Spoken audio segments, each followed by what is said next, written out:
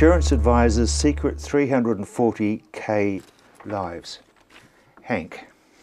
Yes, well, I'd like to know where they get that figure from because it certainly no, doesn't reflect in my bank account.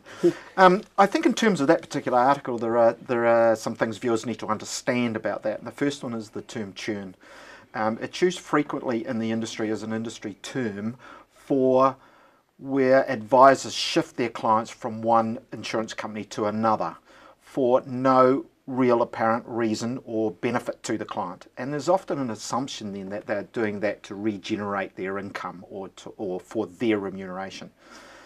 I'm not saying that that doesn't happen, and it can happen. Um, uh, but that doesn't necessarily mean that a client should not look at what's available in the marketplace and if as their circumstances change then they should look at where the best policies for their circumstances are. If that means changing suppliers then that is exactly what they should do. So how often, Barbara Lee, should we actually talk to somebody like yourselves and say, well, we need to update?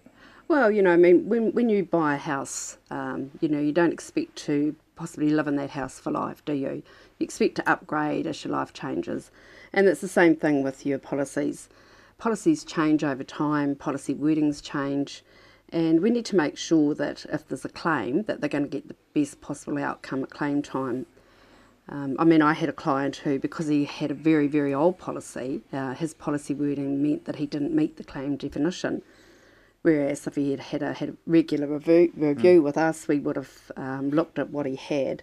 And if he was medically able to move to another policy, that's definitely what we would have recommended. Mm. So, how often should we review? Oh, every 12 months is great. Um, two years the maximum uh, any time that you've got a change in your life, you know, a change of occupation, uh, you've moved house, uh, you might have stopped had smoking, had children, divorced. Any, yes, yes, that's a big one, you know. Mm. So all those moments in life, we need to stop and just have a look and see if everything still suits our needs. And it's our role to make sure that if there's something there that's going to be to the client's betterment, then it's our, our duty to uh, tell them about that. Hank, let's go back to that article because it is a perception. Mm-hmm. They actually had a button for a lot of people. Yep. Overseas trips as an incentive to put my life insurance into a different company. Uh, yeah, there are certain incentives that life insurance uh, companies put in place for those that uh, uh achieve um, levels of business, if you like. Um, it's like any other sales incentive. Uh, you know, the insurance isn't, industry isn't unique to that. There are a mm-hmm. number of industries that incentivise through what we call uh, soft dollar commissions. It's a reward that's that's given to a degree on hard work, if that makes sense. Um, we get paid uh, because we do business. If we do nothing, we get nothing. Um, so there is to a degree, uh, like in any commission sales, uh, what we term the, the 80-20 rule, where, where 80% of the business is written by 20% of the people that are out there doing the business, uh, similar to a lot of commission sales. So should we get rewarded? Is it an incentive? It's, it's, it's there. Um, will that make a difference to a lot of advisors on where they where they place their business? I don't think so. Certainly not for the prudent advisors. Mm. We've said it before on this program. You know, we're business people. We rely on clients. We rely on clients to produce more business for us and to continue our business.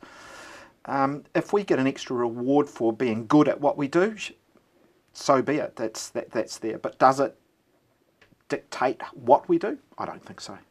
Comes back, I guess, to your comment about the fact that you sit down with somebody and you don't even think of the product until you've worked out their needs. That's exactly it. Yep, exactly it. So you don't go in with the preconceived idea that these people are going to be buying that company.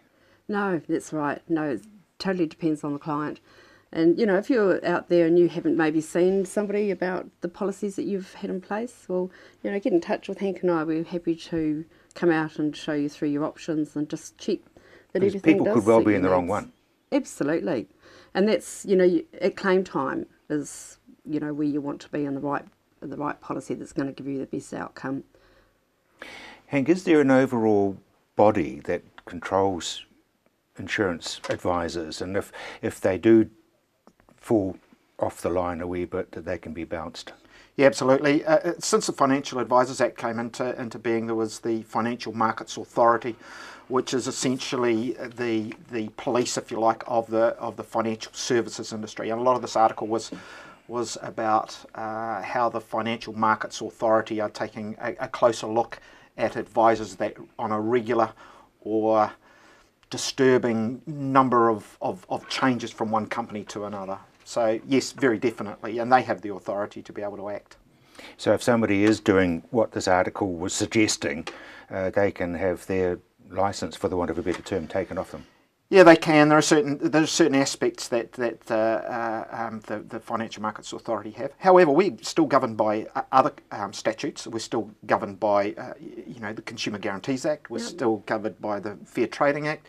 We're still governed by the Crimes Act. And I can tell you now, there are advisors who are serving terms of imprisonment uh, because they acted outside of the of the Crimes Act. They committed fraud.